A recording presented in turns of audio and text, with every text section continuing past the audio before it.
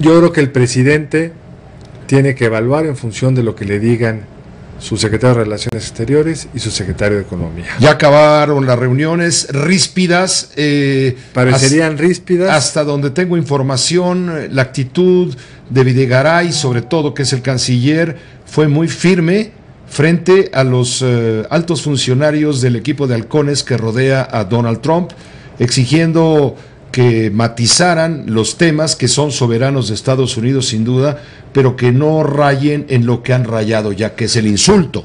Mira, lo curioso es que Trump después del muro dijo que quiere tener la mejor relación posible con México, que es muy amigo de los mexicanos. Entonces nada más queremos oír lo que nos parece más escandaloso.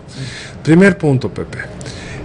Yo creo que si el secretario de Relaciones cree que hay condiciones para un diálogo fructífero, independientemente de una medida que ya sabíamos que iba a pasar, Pepe, porque estaba en la campaña, está en su manifiesto, anunció cuando había ganado el tipo de decretos que iban a venir inmediatamente después de su toma de posesión y ha estado haciendo lo que cumplió. El muro es una decisión de ellos, a mí me parece que tenemos que defender a nuestros connacionales, la parte ecológica, obviamente no lo debemos ni vamos a pagar, pero tenemos que tener un espacio de negociación que nos permita explicar cuáles son nuestros puntos, que entendemos, entendamos qué es lo que quieren, porque Trump está realmente gobernando con decretos muy facilitos. Dice que ya no va a haber Obamacare, pero no nos dice que va a haber. Dice por un decreto que va a haber un muro y no queda claro por dónde, cómo, cómo se va a pagar, etcétera. Entonces tenemos que tener claridad. Eso a él no le preocupa porque lo vas a pagar tú y lo voy a pagar yo. no, vamos a y ver. todos los miles y miles Vamos a ver cómo se va a pagar, pero tenemos que saberlo y tenemos que ver si hay un espacio de negociación.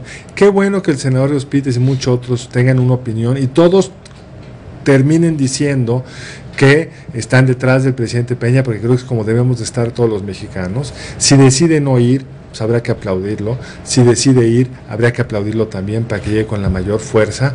Pero no me parece tan evidente, como han dicho muchos críticos, que porque hizo algo que ya sabíamos que iba a hacer, no hay que ir. Es lo fácil en algún sentido, porque es lo que más aplausos traería de una diputada como Ivonne Ortega y de muchos otros, pero yo creo que ellos están en la mejor posición de evaluar si de esa reunión puede salir algo fructífero. Porque tengamos claro una cosa, si no vamos, ya no fuimos.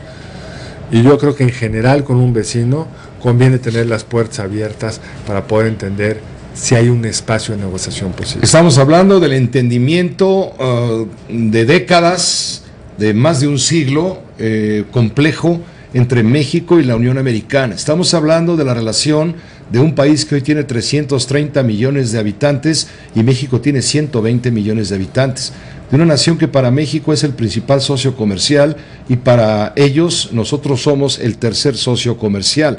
Estamos hablando de un tránsito de mercancías por 1.400 millones de dólares diarios a través de nuestras fronteras, que lo mismo da trabajo aquí, desde luego, pero que también trae beneficios allá. Estamos hablando de un tema muy complejo en la economía estadounidense que todavía no acabamos de descifrar, pero yo quiero ver cuando a los estadounidenses, ante la falta de mano de obra suficiente, las lechugas les empiecen a costar 5 dólares. Es el tipo de temas que yo creo que, que no, no, los intereses económicos de Estados Unidos van a llevar a matizar algunas de las posiciones de Trump, porque económicamente no hace sentido simplemente detener el flujo entre ambos países. Trump está mandando una señal de que está queriendo cumplir sus compromisos de campaña. Ayudémoslo a entender cuál es la parte mexicana, cuáles son los costos para ellos en materia de cooperación de seguridad, en materia de migración, en materia de eh, flujos comerciales, en materia de los cientos de miles de ciudadanos de Estados Unidos que viven en México retirados, porque yo creo que a nadie, menos que a ellos, menos a ellos que a nadie, les conviene cuando van a entrar en un conflicto con China, eh, con probablemente en el Medio Oriente, que se le está complicando enormemente las cosas, abrir un frente más en la frontera sur. Entonces yo creo que tenemos que, si ellos nos dan un portazo en la cabeza, pues se acabó. Pero no creo que valga la pena nosotros ahorita decir, pues porque hiciste lo que siempre dijiste que ibas a hacer, dejamos de ir, vayamos, negociemos, abramos espacios para poner nuestra punto de vista, eh, entender qué es lo que quieren, buscar si hay acuerdos posibles, siempre y cuando el secretario de Relaciones y el secretario de Economía hayan tenido el compromiso de sus contrapartes que va a ser una reunión civilizada, para que lo insulte saliendo o le diga y vas a pagar el muro aunque no quieras, pues en ese contexto evidentemente no convendría ir. Pero en principio yo creo que lo que ya sabíamos que iba a pasar, que es que iba a decir que iba a construir un muro, no es motivo para dejar de platicar con ellos.